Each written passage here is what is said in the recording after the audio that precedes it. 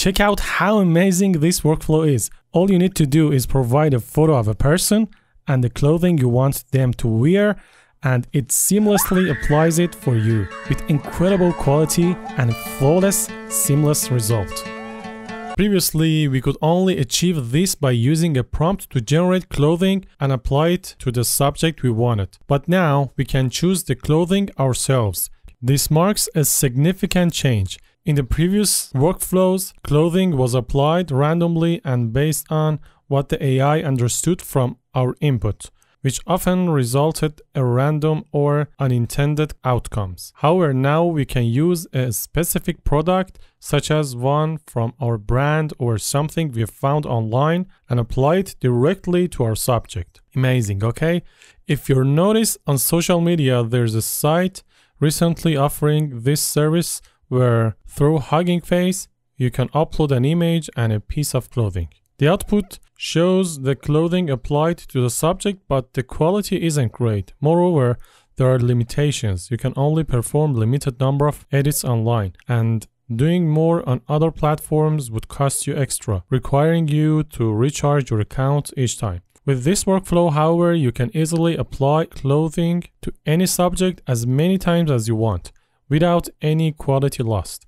The results are so realistic that no one would suspect AI was involved.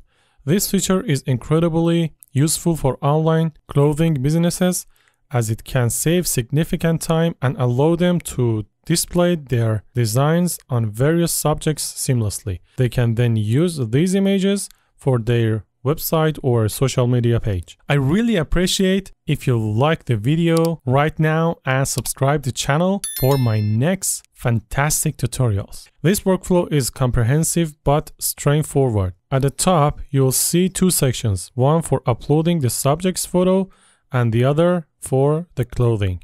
The subject's photo can be a full body image, an upper body shot, a lower body shot, or even just a shoe allowing you to add something like sneakers to the subject's feet. For the subject and clothing, you can drag and drop the desired image into these two sections, like this.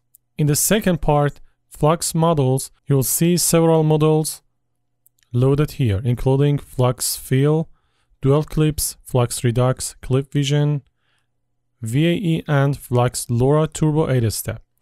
I've included installation instructions and download links for these in the description, so I won't make the video longer by explaining them here. In this section, you can write your prompt, and the prompt should describe the final result. For example, if you want this person to wear a hoodie, you should specify the prompt what the final image should look like. For instance, a woman wearing a pink hoodie with pink pants that have text saying Jocker AI. I don't need to consider the subject's current outfit, jeans and t-shirt. Instead, I describe the final look in the prompt. For now, we don't need to focus on the section below, I explain it later. Moving on this section, you will find your key parameters like the seed, the number of steps, etc. Seed can be set to random or manually adjust. I've set the number of steps to 12 because I activate Flux Turbo LoRa 8 step here. If your Flux Turbo isn't active, you will need to set the number of steps at least 20 steps. But I highly recommend enabling Flux Turbo. It doesn't significantly affect quality but dramatically increase the speed up to 3 times faster and shortens the time required to generate an image. We don't need to adjust the other settings unless you want to experiment. The important feature here is auto masking. This allows the AI to automatically mask the areas we want changes applied and ensure the clothing is added only to those parts. However, in this case, we need to do the opposite. I will tell you what I mean. That means specify the areas where we don't want the AI to make any changes. In the first box, write what your subject is. For instance, it could be a woman, a man, or even a child.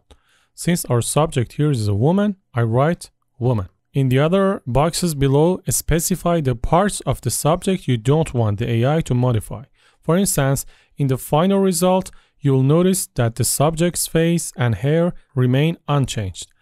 If you don't want the AI to modify the face, write face in first box. Similarly, if you don't want the hair altered, write hair. If you don't want the hands to change, write hand. It's important to note that each box accepts only one word. You cannot write multiple terms like face, hair, hand in a single box separated by commas, as the system cannot distinguish between them effectively. Instead, use separate boxes for each word. For example, in the first box, write face. In the second box, write hair. In the third box, write hand. If you want to exclude more areas from changes, you can active additional boxes. For instance, turn on the next box and write hat. Active another box and write arms. Like this. If you turn on more boxes, you need to ensure proper connections between the nodes. For example, if you are using up to mask 4 and decide to active mask 5, you need to connect the output of the pixelwise node for mask 5 to the input of the grow mask node. If mask 5 is deactivated, connect previous one, mask 4's output directly to grow mask input to ensure functionality. Finally, if you want to deactivate any of the masks, simply turn off the corresponding box by this option. Then reconnect the last active mask to the grow mask node input. It's straightforward. Once you press start, the AI begins its process, identifying the masking the areas you specified. It first detects the subject based on your description. For example, if you've written woman, it identifies the person in the image and creates an initial mask for her. Then it masks the areas you don't want to be altered like the face, hair, or hands. In this case, it finds and masks the face, locates the hair and masks it, and identifies the hands to mask them as well. While the detection may not always be perfect, the workflow adjusts itself to ensure accuracy. Afterward, the workflow takes the base mask of the subject and remove the parts you excluded. Okay? Like the face, hair, and hands, to create a final mask. For example, it subtracts the face area from the mask, includes the hair, and also removes the hands. The remaining mask becomes the area where the modification will be applied, allowing the AI to overlay the clothing onto the subjects naturally and accurately. For instance, it applies a hoodie to the subject, recognizing and adapting to the subject's posture, even according for details like the hoodie's sleeves or the subject's stance. The accuracy is incredible. This level of precision ensures the clothing fits perfectly, creating a natural look. If you notice the quality isn't as sharp as you'd like, or you want a more refined result, you can increase the resolution. In the lower section of the workflow, there's an option to adjust the image quality. In image scale node, you have an option called megapixels. This might be set to 0.5, but increasing it will enhance the output quality significantly.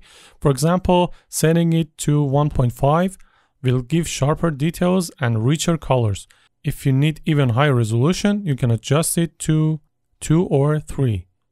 Keep in mind that higher values will result in larger image sizes and longer processing times, as the AI requires more time to work on the increased detail.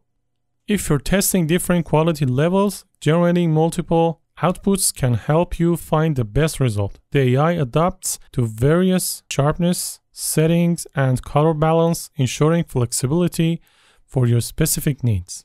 For resolution setting, a value of 0.7 is suitable for quick previews, while 1.5 delivers noticeably sharper details and improved colors. Setting it to 2 or 3 offers a high quality result, ideal for professional use. The quality of the input image also plays a crucial role in determining the final result. Better input quality naturally yield superior outputs. If you notice that the AI sometimes struggles with masking certain areas like the subject's face, resulting in errors even when you specify that the face should not be altered. There's a solution for this. Often the auto mask feature can misidentify areas or accidentally include parts of the face in the mask, which can lead to unwanted changes. For example, as shown in the preview, even after explicitly instructing the AI to exclude the face, it may still distort the some parts of the face in some images. To resolve this, you can use Workflow version 2, which provides a manual masking option this workflow can be downloaded via the link provided in the description, but is exclusively available for my Patreon supporters. In this update workflow, you have the flexibility to manually create masks for the areas you want to modify, ensuring accuracy and precision. Here's how it works. First, load your subject image and clothing image. Once both are loaded, disable the auto mask feature here by toggling this option off, like this. This ensures the workflow doesn't attempt to create an automatic mask. Now run the workflow once by pressing Queue Prompt. This generates a preliminary mask for the subject. After it starts processing and you see the preview images, click the stop button to stop the process. Now right click on the preview of the generated mask and select copy image.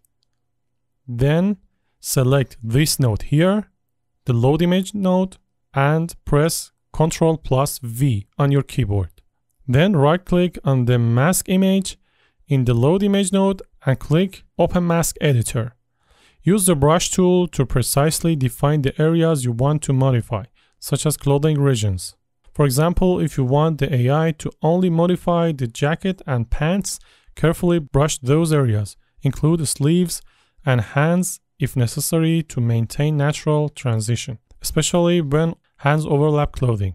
Avoid brushing areas like the face to ensure no changes are applied there. Once your manual mask is complete, click Save. The new mask will now be considered during the processing, and when you run the workflow again, the AI will only modify the specified areas. This approach prevents errors in sensitive areas like the face and allows for high quality results without unintended alterations. If you want even higher quality output, you can increase the megapixel settings in the workflow which I mentioned earlier. By raising this value, the resolution and sharpness of the final image improve significantly although processing time will also increase. Thanks for watching, I'll see you in the next videos.